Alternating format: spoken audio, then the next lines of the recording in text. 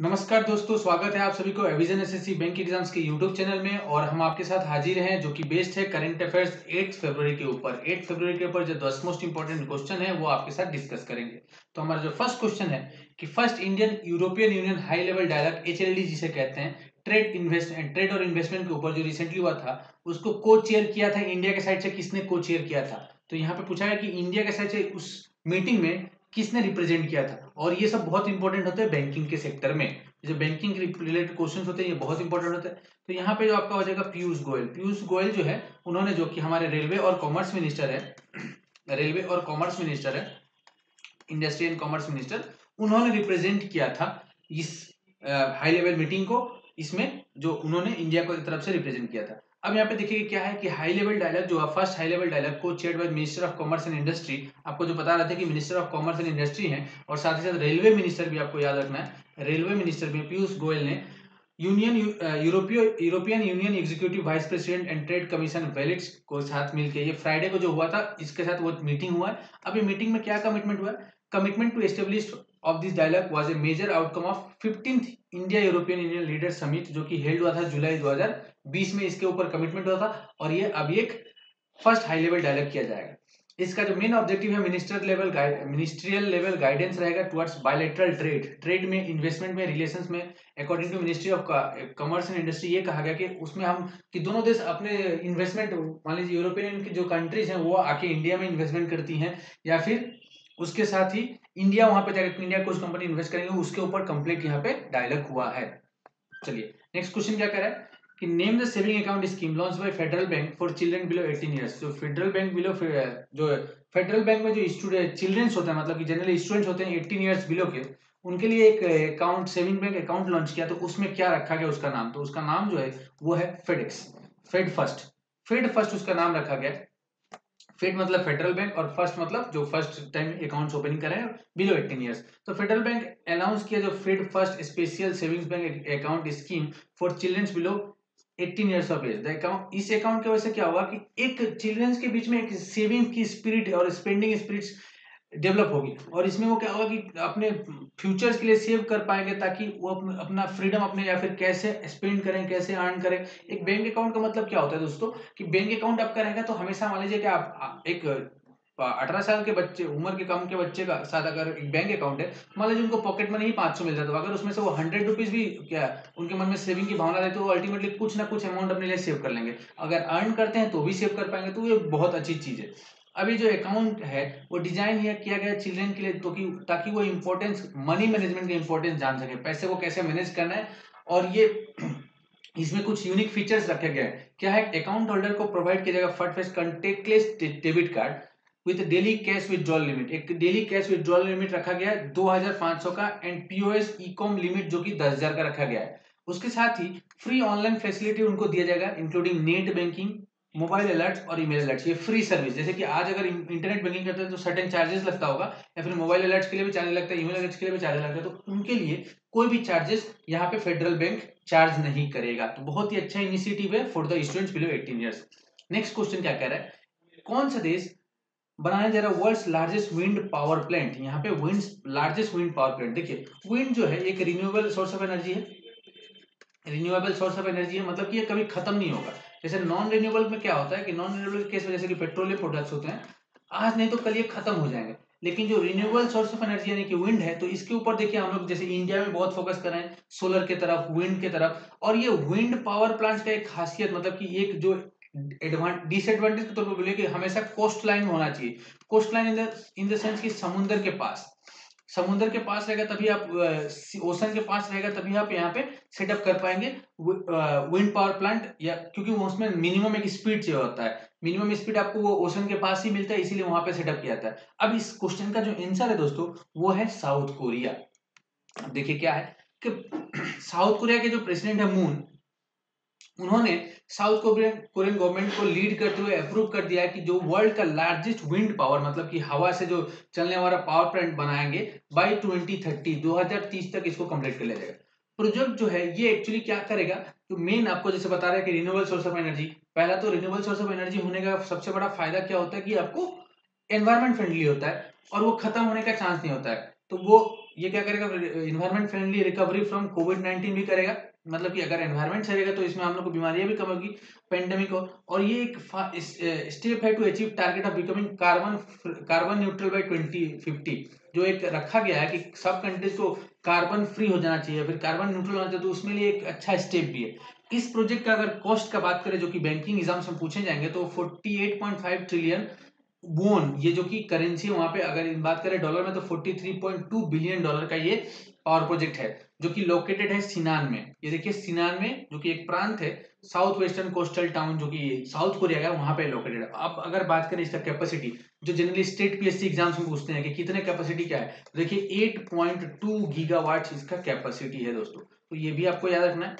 Currently अगर बात करें वर्ल्ड लार्जेस्ट विंड फार्म कहा है तो वो हॉन्सी वन जो कि ब्रिटेन में है, जिसका 1.12 गीगावाट कैपेसिटी है, जबकि ये बन रहा है तो देखिए ऑलमोस्ट एट टाइम्स या फिर सेवन टाइम्स 8.2 गीगावाट्स का ये पावर प्रोजेक्ट बनने जा रहा है। बहुत ही अच्छा ताकि हम मूव करें रिन्यूएबल सोर्स ऑफ़ एनर्जी की तरफ़। नेक्स्ट क्वेश्चन क्या? किस डिस्ट्रिक्ट उत्तराखंड में, देखिए, बहुत ही एक सैडफुल न्यूज़ या फिर बहुत ही दुखद समाचार कल आया कि ग्लेशियर ब्रस्ट हुआ है, जिसको हिम संकलन कहते हैं। ये हुआ है कौन से डिस्ट्रिक्ट उत्तराखंड में? तो आपको पता होगा दोस्तों ये बहुत ही ट्रेंडिंग टॉपिक है चमोली में। चमोली में कल क्या हुआ कि एक बहुत ही बड़ा हिम संकलन या फिर ग्लेशियर बेस्ड हुआ। अब देखिए क्या हुआ कि ये कहा हुआ? ऋषि गंगा जो नदी है पावर प्रोजेक्ट जो वहाँ पे हो रहा है ऋषि गंगा का पावर प्रोजेक्ट जो है उसको भी बहुत क्षति यानी कि बहुत आ, वो वो हुआ है बर्बादी हुआ है उस पावर प्रोजेक्ट को भी। उसमें क्या हुआ कि after a portion of Nanda Devi glacier Nanda Devi का ग्लेशियर जो है तपोवन एरिया में जोशीमठ के पास, वहाँ पे जो चमोली डिस्ट्रिक्ट में है, वहाँ पे सात फरवरी को सुबह को ये न्यूज़ आया कि ये ग्लेशियर टूट गया, फिर हिम संकलन हो गया ऋषि गंगा डैम के ऊपर। जो ऋषि गंगा डैम बहुत बड़ा एक प्रोजेक्ट हो रहा था अलकनंदा रिवर उसको वो बर्बाद कर दिया है। अब ये नेशनल थर्मल पावर कॉर्पोरेशन जो कि एनटीपीसी का जो तपोवन विशु विशुनगढ़ प्रोजेक्ट था धौली गंगा रिवर के ऊपर Rishi Ganga power corporation limited project था। उस, उसको जो गवर्नमेंट ने प्लान किया था एक्चुअली ये प्रोजेक्ट जो था 520 मेगावाट का प्रोजेक्ट था और एक था 13.2 या फिर 13.2 मेगावाट का प्रोजेक्ट था रिस्पेक्टिवली ये दोनों प्रोजेक्ट वास्ट हुए मतलब कि खत्म हो चुके हैं ऑलमोस्टली बहुत सा गवर्नमेंट का पैसा यहाँ पे बहुत ज़्यादा बर्बादी हुआ है और बहुत जान माल का नुकसान के साथ साथ बहुत लोग अभी भी फंसे हैं और वहाँ पे रेस्क्यू कार्य अभी भी जारी है। हमारे डिफेंस के एनडीआरएफ या फिर अलग अलग सेक्टर को रेस्क्यू कार्य अभी भी जारी, जब भी करंट अफेयर सेट करें, तब भी हमने देखा है कि ये जारी है और ये चल रहा है। तो ये बहुत ही एक दुखदायी समाचार था हम लोग के देश के लिए। नेक्स्ट क्या है? किस कंपनी ने चूज़ किया नासा और स्फेयर मिशन को? नासा किस कंपनी ने चूज़ किया नासा नासा ने चूज़ किया स्फेयर मिशन को, जो कि ऑल स्काई सर्वे करेगा। तो यहाँ पे जो कंपनी चूज़ किया गया नासा द्वारा वो है आपका स्पेस एक्स नासा क्या है? स्पेस एजेंसी है किसकी? यूएसए की। जैसे हमारे पास इसरो है तो उसी तरह यहाँ पे नासा है। बोइंग आपको पता होगा कि ये एयरक्राफ्ट बनाती है कंपनी तो देखिए नासा ने सिलेक्ट करता है स्पेस एक्स को, जो कि लॉन्च करेगा स्पेयर मिशन क्या है स्पेयर मिशन तो देखिए स्पेस एक्स लॉन्च करेगा स्पेयर मिशन स्पेयर क्या है? Is sort of spectrophotometer for the history of the universe epoch and reorganization and ices explorer बहुत बड़ा ये एब्रीविएशन है स्पेस क्राफ्ट है। तो इसमें क्या है कि स्काई का सर्वे से होगा सर्वे होगा। अब देखिए थ्रू दिस मिशन नासा का एम है कि ऑल स्काई सर्वे परफॉर्म करेगा, जो कि मेजर करेगा नियर इंफ्रारेड स्पेक्ट्रा के थ्रू अप्रोक्सीमेटली 450 मिलियन गैलेक्सीज जो गैलेक्सीज होती हैं हमारे यूनिवर्स में तो उसको मेजर करेगा। और साथ ही साथ अक्रॉस द यूनिवर्स और 100 million stars inside our Milky Way galaxy जो हमारे गैलेक्सी का नाम है, आपको पता है मिल्की वे तो उसमें जो 100 मिलियन स्टार उसके ऊपर भी सर्वे किया। और ये स्मॉल एस्ट्रोफिटिक्स स्पेसक्राफ्ट एक्स जो है, जिसका वेट है 329 तीन सौ उनतीस एल बी यानी कि लगभग एक सौ अठहत्तर के जी के ऊपर है। अगर बात करें लॉन्च का तो ये लॉन्च होगा फैल्कॉन नाइन रॉकेट से जो कि एक, जैसे आप सुनते हैं ना एफ़ सिक्सटीन जो पाकिस्तान के पास विमान है या फिर F thirty five F twenty two जो विमान है तो ये एफ़ का मतलब फैल्कॉन होता है। ये कंपनी मैन्युफैक्चर करती है। तो ये रॉकेट भी बनाती है। तो फैल्कॉन नाइन रॉकेट से लॉन्च होगा जून ट्वेंटी ट्वेंटी फोर में। From space launch complex four E जो कि एयरफोर्स बेस स्टेशन है कैलिफ़ोर्निया में यूएसए में। आपको पता होगा कि यूएस में हाँ हाल ही फ़िलहाल में उनके प्रेसिडेंट नया पॉइंट है, जो कि जो बाइडन है। और बहुत ही मशक्कत के बाद बहुत ही दिक्कत के बाद वो फाइनली क्योंकि ट्रंप अपना सीट छोड़ना नहीं चाह रहे थे जैसे कि इसके ऊपर हमारा वीडियो यूट्यूब में आप जाके देख सकते हैं और उनकी जो वाइस प्रेसिडेंट है कमला हैरिस वो अपॉइंट हुई है। नेक्स्ट क्वेश्चन क्या हैं? किसे अपॉइंट किया गया है managing director cloud India business से? तो यहाँ पे विक्रम सिंह बेदी जो है उन्हें अपॉइंट कर लिया गया है क्लाउड इंडिया बिज़नेस का मैनेजिंग डायरेक्टर तौर पे। अब देखिए गूगल क्लाउड जो है, है उसने अपॉइंट किया विक्रम सिंह बेदी क्योंकि आपने करंट अफेयर्स में पढ़ा था कि जो क्लाउड इंडिया बिज़नेस है उसके जो एमडी थे, वो किसी दूसरे पोस्ट पे अपॉइंट हो चुके तो वो पोस्ट खाली था। तो इसीलिए इन्हें अपॉइंट किया गया विक्रम सिंह बेदी को जो MD of cloud India business पे। अब देखिए, बेदी जो है, करण बाजवा को सक्सीड कर रहे हैं, जो कि वाइस प्रेसिडेंट बन गए थे। जब आपको बता रहे थे कि एक वीडियो में आपको बताए थे तो ये वीपी बन गए हैं एशिया पैसिफिक रीजन के cloud operation of Google cloud का। तो वो एशिया पैसिफिक रीजन के बन गए, और ये जो इंडियन आदमी है, इन्हें अब विक्रम सिंह बेदी, इन्हें अपॉइंट किया क्लाउड इंडिया बिज़नेस के तौर पर मैनेजिंग डायरेक्टर अगला क्वेश्चन क्या कह रहा है दोस्तों? तो यहाँ पे नेक्स्ट क्वेश्चन आप जैसे कि देखते देख रहे हैं, अख्तर अली, ये ऑबिटरी रिलेटेड क्वेश्चन जिनका रिसेंटली देहांत हो गया, वो किस स्पोर्ट्स के फ़ील्ड से बिलोंग करते थे? ऐसे भी पूछ सकता, किस फ़ील्ड से बिलोंग करते तो वहाँ पे स्पोर्ट्स रहता, या फिर एक्टिंग रहता पॉलिटिक्स रहता है उस तरह से रहता तो वहाँ पे आप आंसर स्पोर्ट्स लगाते। यहाँ पे पूछ रहे तो यहाँ पे जो हमारा आंसर है, वो टेनिस हो जाएगा। देखिए, अख्तर अली टेनिस लेजेंड जो कि Akhtar Ali father figure of Indian tennis थे। जैसे कि अभी इंडिया टेनिस में बहुत अच्छा करता है तो वो रिसेंटली उनका देहांत हो गया। उन्होंने इंडिया को डेविस कप में आठ बार रिप्रेजेंट किया था। आठ बार against Pakistan, Malaysia, Iran, Mexico, Japan, Monaco क्योंकि उन्नीस से उन्नीस के बीच में उन्होंने खेला था। डेविस कप क्या होता है कि कंट्रीज़ का, जैसे वर्ल्ड कप क्रिकेट में तो वैसे ही डेविस कप होता है कि कंट्रीज़ के टेनिस प्लेयर वहाँ पे खेलते हैं। अब देखिए, उनका जो जन्म हुआ था उन्नीस सौ उनतालीस में, पाँच जुलाई का हुआ था, और अख्तर ने मार्क, अपना एक मेड, मार्क किया था 1955 में कि नेशनल जूनियर चैंपियन में उन्होंने जूनियर विम्बलडन में सेमीफाइनल में जीते थे। विम्बलडन क्या होता है दोस्तों? ये जैसे कि टेनिस में चार टाइप के मेन टूर्नामेंट्स होते हैं यूएसए ओपन उसके बाद ऑस्ट्रेलियन ओपन विम्बलडन और विम्बलडन, और साथ में एक होता है फ्रेंच ओपन ठीक है? तो ये सारे इंपॉर्टेंट जो टेनिस के टूर्नामेंट होते हैं, उसमें जूनियर चैंपियनशिप में वो सेमीफाइनल तक पहुँचे थे। और साथ ही साथ वो अब उनके साथ जो एक पार्टनर के तौर पे भी खेले थे, किसके साथ? राम, रामानाथन कृष्णन के साथ, नरेश कुमार के साथ, प्रेमजीत लाल के साथ, जयदीप मुखर्जी के साथ उन्होंने खेला था। अख्तर जो है, वो was groomed by former Australian Davis Cup coach Harry Hopman उनके अगर कोच की बात करें तो हैरी होपमैन जो कि ऑस्ट्रेलिया के प्लेयर थे, उन्होंने उनको ग्रूम या फिर कोचिंग दी थी, जो कि उनको इतना मदद किया था उस ग्रेमसन तक पहुँचने के लिए, ठीक है? नेक्स्ट क्वेश्चन कौन सा फ़र्स्ट बैट्समैन बन गया जो कि स्कोर करते हैं two hundred in hundred test अपना सौवा टेस्ट में 200 का ये स्कोर किए हैं तो आपको सबको पता होगा, ये हाल ही फ़िलहाल में अभी हुआ है, जो रूट जो कि चेन्नई में जो टेस्ट में चल रहा है, India versus England. India versus England का जो मैच चल रहा है वर्सेस इंडिया वर्सेस इंग्लैंड का जो मैच चल रहा है, उसमें जो रूट ने 200 रन पार किया था तो वो हंड्रेड टेस्ट में, हंड्रेड मतलब कि सौवा टेस्ट में वो 200 रन बनाए हैं, ठीक है, जो रूट। अब ये इंग्लैंड के प्लेयर है, और ये जो मैच हो रहा है, चेपॉक स्टेडियम में हो रहा है, जो कि चेन्नई का स्टेडियम है, उसको चेपॉक कहते हैं। तो देखिए, जो रूट, जो कि इंग्लैंड के कैप्टन भी है, अगर पूछा जाए तो कौन कैप्टन तो कैप्टन है। उन्होंने क्या किया कि फ़र्स्ट ऐसे बैट्समैन बने कि सौवे टेस्ट में क्या किए? अपना 200 रन बनाए। और वो साथ ही साथ इंजमाम उलक कैप्टन जो पाकिस्तान के जो फॉर्मर कैप्टन थे इंजमाम उलक उनको भी सरपास कर दिए। हाईएस्ट इंडिविजुअल स्कोर का जो कि अपने सौवे टेस्ट में बनाया। है तो उनका स्कोर क्या था? उनका 184 था अगेंस्ट इंडिया बेंगलुरु में, जो कि 2005 में बनाए थे। और ये जो है, ये 200 से ज़्यादा रन बनाए हैं। तो ये एक बहुत ही बड़ा लैंडमार्क है जो रूट के लिए और इंग्लैंड के लिए आज भी मैच कंटिन्यू है और ये कल इस मैच का फिफ्थ डे रहेगा। उसके बाद किस क्रिस्टोफर प्लमर जो कि ओल्डेस्ट ऑस्कर विनिंग एक्टर हैं, जिनका रिसेंटली देहांत हो गया, वो कौन से देश से बिलोंग करते हैं? इस तरह से भी क्वेश्चन पूछे जाते हैं।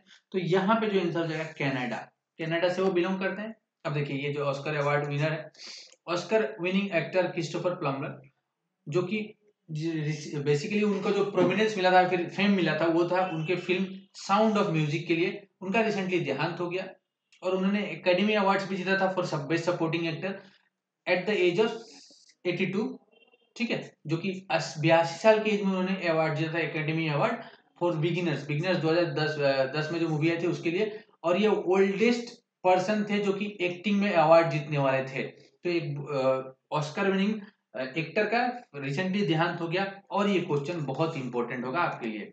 नेक्स्ट देखिए, किसने स्टेट्स ने कंप्लीट किया ईज ऑफ़ डूइंग बिज़नेस में? जो कि मिनिस्ट्री ऑफ़ फाइनेंस ने जारी किया है कि कितने रिफॉर्म्स को कंप्लीट किया है। तो यहाँ पे जो हमारा आंसर हो जाएगा दोस्तों, वो होगा बारह। बारह राज्य यहाँ पे ease of doing business reforms को स्टेट्स जो कि हैं कंप्लीट कर चुके हैं।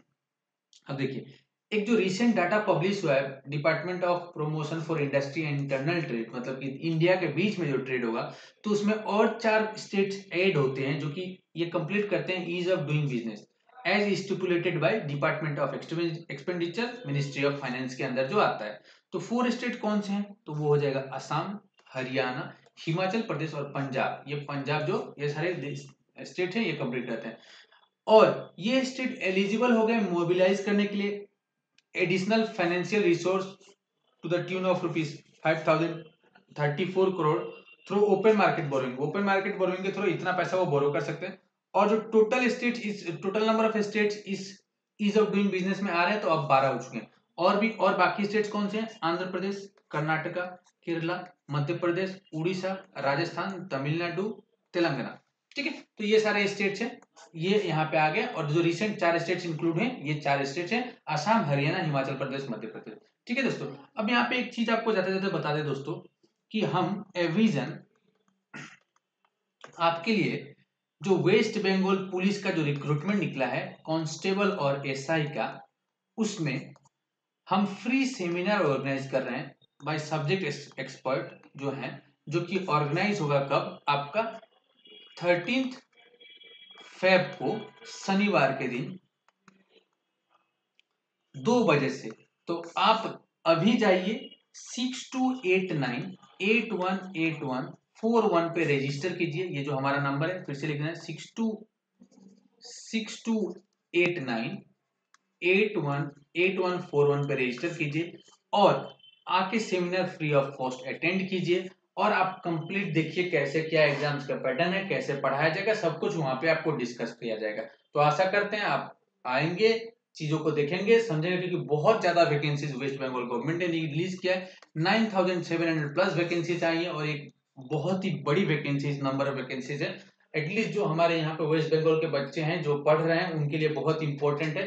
काइंडली जाके सेमिनार को अटेंड कीजिए और फिर अपना फीडबैक दीजिए वहाँ पे। और ये हम लोग का टोटल करंट अफेयर्स था। दोस्तों, अगर चैनल में नए हैं तो उसको सब्सक्राइब करना ना भूले। बेल आइकन को प्रेस करना ना भूले, ताकि इस इस टाइप के वीडियोस जो होते हैं, आपको मिस ना हो। और एक चीज़ आपको यहाँ पे बता दें कि आठ बजे रोज क्वांट्स का, यानी कि जिसको हम बांग्ला में अंको बोलते हैं उसका क्लास होता है हमारे एविजन एस इसी यूट्यूब चैनल पे।